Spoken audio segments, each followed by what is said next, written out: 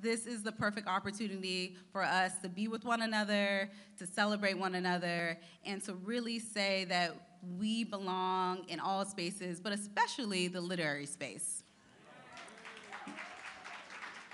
You know, I, I like to say I, I really love being black. um, but it's something about our love for blackness, for books, and for authentic storytelling that really brings us together and makes Well Read Black Girl its own unique, special place in the world.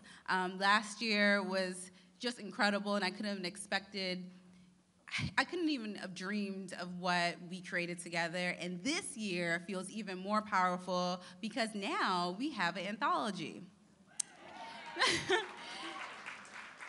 I say we because I thought of each person in this room as I created it. I thought about Glory when she was 12 years old and the things that she needed to feel confident, to feel self determined. Um, but I thought about all my friends in the book club and I thought about my mom, and I thought about Maya Angelou.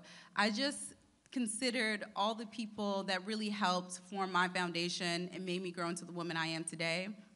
And I hope when you read the book, it really feels like a conversation. It feels like a friend and something you can hold on to and you want to pass along to your friends and your daughters and your sisters and your aunties. And it can be a keepsake for you um, and really, for the educators in this room, because I know a lot of y'all are teachers, yes, that it comes a guide and a resource for you to show young black women, um, young black girls, that they can be anything they want to be in the world, but we have a literary canon that is rich